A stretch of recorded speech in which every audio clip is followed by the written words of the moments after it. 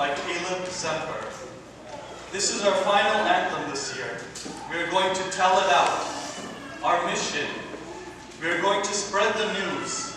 God has given His Son to be born in our hearts, and we are going to tell the world about it. The text of the song is as follows.